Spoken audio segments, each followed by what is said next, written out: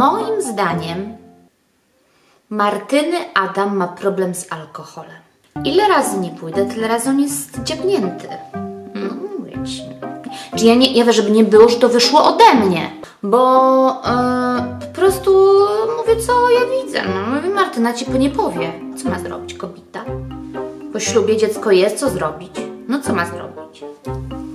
Także ci mówię, Anka, ty uważaj, jak ty chłopa dobierasz, bo e, Adam, Martynę, no ile nie pójdę razy, tyle razy dziabnięty. Ostatnio chciałyśmy z Martynką napić się wina, e, ja mówię, no to Adam, to może ty mnie odwieziesz, skoro ja już nie mogę prowadzić sama, ale jak Adam mnie odwiezie, jak on jest wiecznie dziabnięty?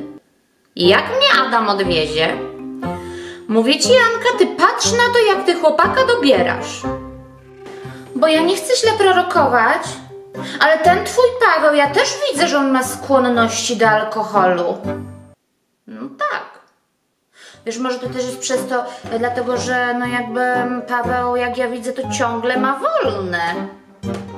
Ty sprawdź, czy on jest w ogóle robotny. Ty się cieszysz. Ja wiem, bo ty jesteś zakochana, Anka, że on ciągle ma czas dla ciebie, ale ty się zastanów, czy on jest robotny. Bo ja mówiłam właśnie z Martynką na ten temat. Martynka też to zauważyła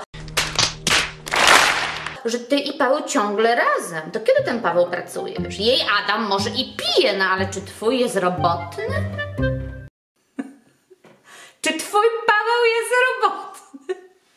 Prawda, że ja się śmieję, no trochę przedrzeźniam, ale ile razy nie słyszałyśmy takich rozmów? Ile razy nie słyszałyśmy, żeby ktoś właśnie dokładnie w taki sposób opisywał rzeczywistość? Bo jako świat światem plotki istniały zawsze. To przez plotki były wywoływane wojny na świecie, przez nieporozumienia były rozwody, rozłamy rodów, rody na, były różne walki uliczne, mafijne. Właśnie przez to, że mówimy o sobie nawzajem. Zresztą kiedyś, kiedy nie było prasy, kiedy nawet nie było piśmiennictwa, to w sposób mówiony przekazywaliśmy wiedzę o świecie, czyli też o innych. A pogódźmy się z tym, weźmy to na klatę, nie, nie udawajmy, że nie ja nie, nie mogę znieść osób, które mówią, ja nie plotkuję. I jak nie plotkujesz, no nie plotkujesz, a potem mi powiesz, co u Kaśki słychać i powiesz mi to tak, że ja wszystko wiem o Kaśce.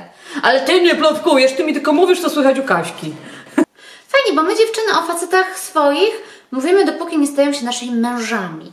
I nagle jak zaczynają być naszymi mężami, pum, zameczek na usta, i już o swoim mężu nic złego nigdy nikt. Jak był twoim chłopakiem i pytał się, co tam u Krzyśka, to potrafiłaś się jeszcze wtedy wyżalić, że boisz się, że jest alkoholikiem, bo dużo pije, nie?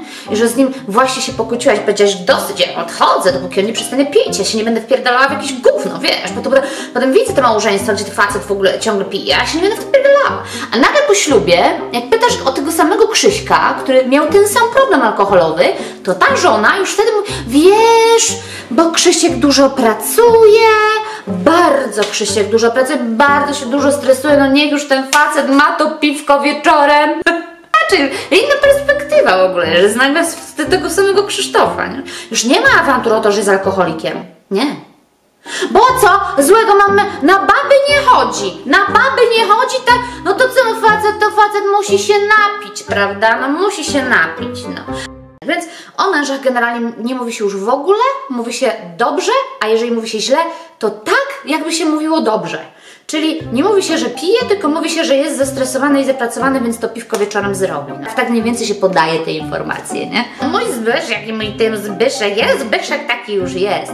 Bagatelizuje się już wtedy y, wady naszych facetów, bo już są naszymi mężami, chuj, klamka zapadła, szubienica, ale nie tylko o facetach plotkujemy. Plotkujemy też o celebrytkach. Nie, co mnie obchodzi życie jakichś celebrytek? Ja mam swoje sprawy, swoje koleżanki. Ja nie, nie, się nie jestem jakimś pustakiem, żeby się interesować życiem celebrytek. Ale o każdej wiesz wszystko, nie? Ale o Magdalenie Rozanek, która Małgo, Małgorzacie zawsze skrywa jakimś sposobem Małgorzata Rozenek jest dla mnie zawsze Magdaleną Rozenek. Ile razy o tej kobicie nie powiem, tyle razy Magdalena, Magdalena. Nie wiem dlaczego, może mi się kojarzy z Marią Magdaleną.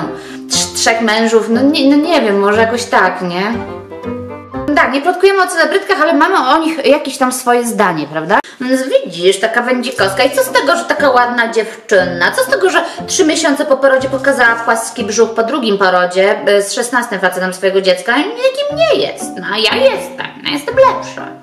No, lubimy sobie tak pomyśleć, że a ta celebrytka, taka fajna, taka ładna, taka bogata, tak jakbyśmy chciały żyć jej życiem, a tu się nagle okazuje, a jednak byśmy nie chciały. Nie, nie, nie, nie nie nie, nie, nie, nie, nie, nie, nie, nie, nie. To ja już wolę mojego Krzysia, który popija, ale jest. Pa patchworkowe związki, co to w ogóle jest? No, a ta Majdan to nie może mieć dziecka z tym Majdan. Radek Majdan no nie ma szczęścia, no.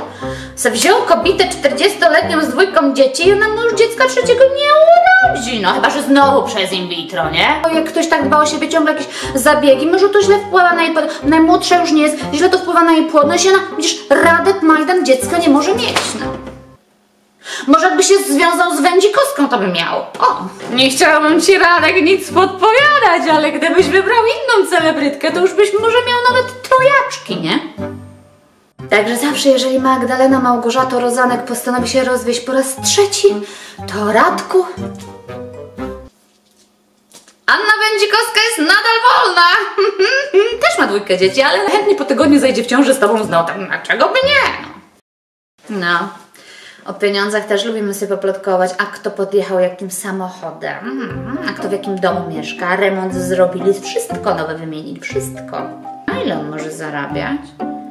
Tak? No ile on na tym wyciąga? Co? Tartak ma? On ma tartak? A na ile na tartaku można wyciągnąć? Normalnie kupili sobie Audi. Normalnie jeżdżą Audi. On prowadzi tartak, ona siedzi w domu. No i na tartaku, no mówię ci. Czy, je, czy robią coś jeszcze, do czego się nie przyznają? Tutaj sugerują wszystkim, że jednak kłamią i oszukują jednak po prostu kradną. I czy robią coś na boku? O, chytry jest na pieniążki, chytry na pieniążki. No, chytry na pieniążki, no.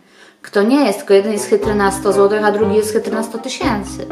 A jak już jakaś kobieta wyda swoją córkę albo wnuczkę bogato za mąż, no to nie umieszka opowiedzieć o bogactwie przyszłego zięcia. A jego rodzina, wyobraźcie sobie, Powiem tego, że to są sprawy dosyć intymne, rodzinne, nie? takie, gdzie powinny zostać wikro. Nie, bo ona właśnie swoją córkę albo wnuczkę sprzedała na bogato i teraz trzeba powiedzieć, jak bardzo bogato. No i wyobraź sobie, że ja wchodzę, a tam pałac. Mówię ci, Bożena, pałac! Ja mówię, o matko, ta moja wyprawka, którą ja dla tej mojej Halinki przygotowałam, to jest nie, aż mi się głupio zrobiło, ale ja ciężko całe życie pracowałam, no i na taką wyprawkę mnie stać, taką Halince wyprawkę zrobiła. Ale mówię Ci, ten jej Christian, to on ma pałace w domu. Jego rodzice, ja nie wiem co, ja nie wiem co robią moi, wiesz, ja nie wiem co robią jego rodzice, podobno mają automaty do gry. A wiesz, kto ma w Polsce automaty do gry? Mafia!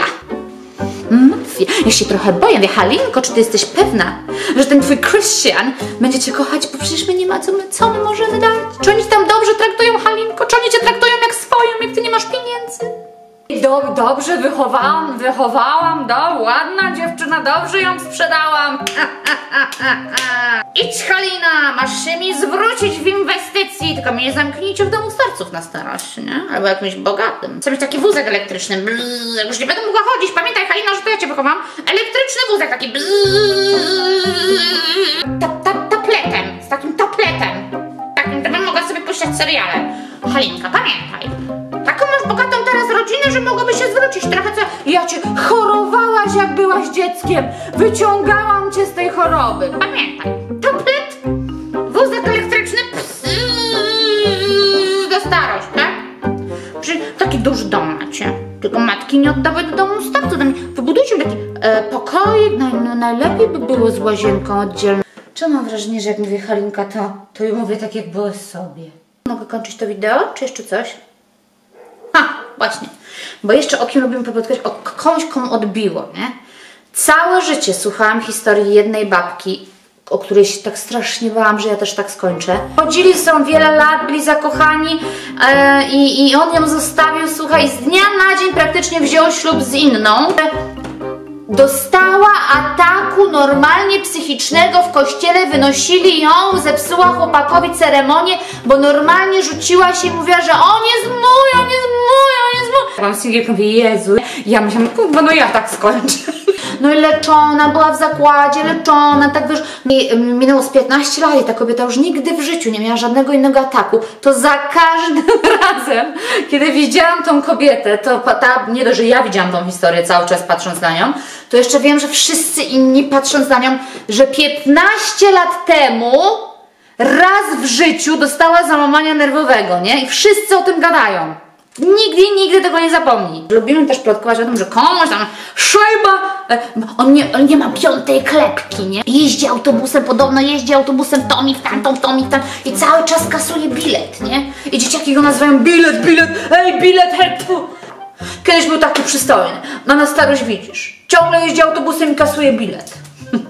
I chociaż nigdy tego faceta nie poznasz, nie zamienisz z nim zdania, to jak go miniesz na ulicy, będziesz wiedziała, że nazywają go bilet, że on jeździ autobusem i ciągle go kasuje, że kiedyś był przystojny, no ale widzisz, ale mu tak odwaliło i albo, że jakieś dwie panie kiedyś były bardzo bogate, jako dwie siostry, potem rodzina przetrwoniła majątek, bo nie umieli tego majątku pomnożyć, one e, z trwonieniem zostały biedne na starość i że jedna umarła w biedzie, normalnej kawalerce, zwykłej szale, zastawiona książkami, że karetka jak przyjechała po zwłoki, to musiała wyciągać książki z tej kawalerki, bo nie dało się przejść na noszach, nie mogli jej wynieść przez te książki. No tak zaświrowała kobieta na starość, nie?